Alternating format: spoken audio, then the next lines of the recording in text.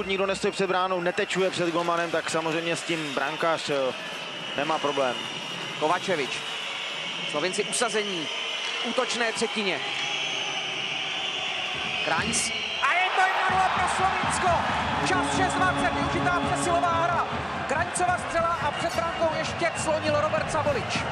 OK, je jednoduchý, v podstatě stačí opravdu držet nějaké základní pravidla. Tady jsme viděli, chtěli se, snažili se hrát víceméně na, na Anže Kopitára, ale Beck věděl, že si ho mají dobře pokrytého, tady to ještě vidím, že čekal, když to dostane zpátky a před bránou výborný blok tam byl.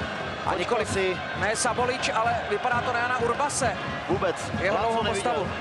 Absolutně nemohl vidět, tam se výborně postavil slovinský útočník a Laco čekal. A tečoval, Jan Urbas, tečoval Kotouč. Při svém prvním startu na tomto světovém šampionátu. Nádherně stáhl Kotouč ze vzduchu. Ale rozdíl mezi přesilovkou Slovenska a Slovenska byla v tom, že Slovenci se snažili jednoduše, rychle zakončovat střílet a Slovenci jsou aktivní na začátku druhé třetiny a tady je Tyčar, Laco s vypětím všech sil. Zastavil Kotouč v natažené ruce. Teď nakonec Marko Daňo. Stále Daňo. Jak když ho odtlačoval Daňo, zametl puk. Na druhé straně a Kotouč stále zůstával ve hře, ale my jsme ho dobře viděli a můžeme vám svědomitě prohlásit, že nepřekročil brankovou čáru. Praváka, tedy hráče, který drží hůl směrem doprava a nasadil na levou stranu, ale tady je Daňova střela, ještě Gáborík před brankou. A taky Hudáček, ale před ním už Slovinci puk odpálili. Pánik předtím v souboji s Kovačevičem. A teď už v poklidu drží puk. Richard Pánik. Prudkátky na druhou stranu. Na Jurča. Kristan stihl se cvaknout betony. Slovinci jsou v plném počtu. Kopitar narazil do Hudáčka. Všechno v pořádku.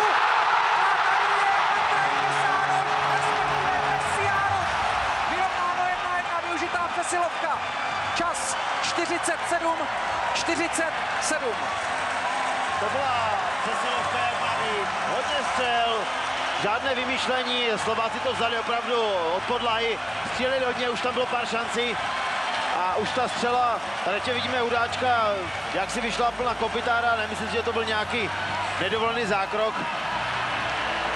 Prostě slonění tam bylo, střela z první a Krista nesačil reagovat, ale předtím tam přecházelo pár střel, které byly hodně nepříjemné.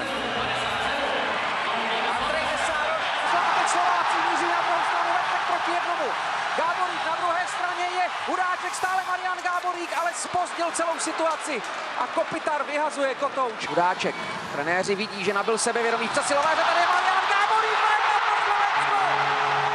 Čas 54-16, Marian Gáborík zabral pravý čas. Tak jsme se dočkali.